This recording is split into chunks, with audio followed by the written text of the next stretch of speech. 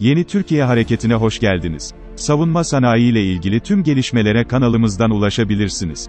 Bize destek vermek için videoyu beğenip kanalımıza abone olmayı unutmayın.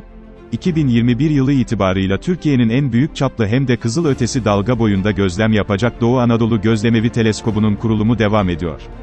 Atatürk Üniversitesi Astrofizik Araştırma ve Uygulama Merkezi tarafından 27 Kasım 2021 günü yapılan açıklamaya göre teleskobun 4 metre çapa sahip olan en büyük aynası, Rusya'da yapılan parlatma ve kaplama işlemlerinin ardından Erzurum'a ulaştı.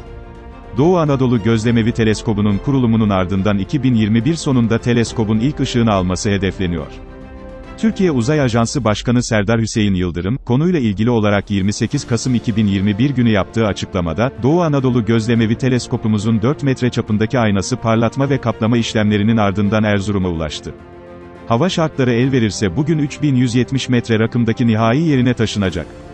İlk ışığı alacağı günü sabırsızlıkla bekliyoruz ifadelerine yer verdi. Doğu Anadolu Gözlemevi projesinin amacı, Türkiye'nin en büyük çaplı hem görsel hem de kızıl ötesi dalga boyunda gözlem yaparak kozmoloji, astronomi, astrofizik, uzay bilimleri ve teknolojileri alanında uluslararası projelerin yürütülmesi ve bilim dünyasında başarılı bir yer edinmesidir. Türkiye'nin şimdiye kadarki en büyük teleskobu, Antalya'da bulunan 1,5 metrelik RTT-150 Türk-Rus ortak teleskobuna kıyasla evrende daha derinleri gözlemleyebileceğimiz Doğu Anadolu Gözlemevi Teleskobu yakın kızıl ötesi dalga boyunda gözlem yapabilecek ve uyarlanabilir bir optiğe sahip olacak. Kızıl ötesi bir teleskoptan evreni gözlemlemenin ilk şartı olan ışığı almak için yerde bulunan teleskopların ortak sıkıntısı atmosferdir. Işık aldığı yolda ortam indisinin değişmesiyle kırılmalara uğrar. Bu kırılma ışığın geldiği cismin titrek ve bulanık görülmesine sebep olur. Çözüm olarak uzayda bulunan teleskoplarda mevcuttur fakat dünyada ihtiyaç duyulan teleskoplar için geliştirilen teknolojiler vardır.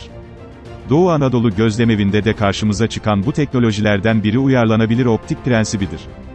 Bu prensiple atmosferin etkisi gözlem esnasında düzeltilerek veri oluşturuluyor. Doğu Anadolu Gözlemevi projesi 3 aşamadan meydana gelip ilk aşaması teleskop, kubbe, binalar ve altyapısıyla gözlemevi kurulmasıdır.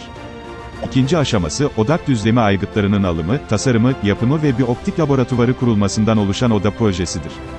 Üçüncü aşaması ise 4 metreye kadar olan bütün ayna ve uzay uydu ekipmanlarının kaplanacağı ayna kaplama sisteminden oluşan projedir.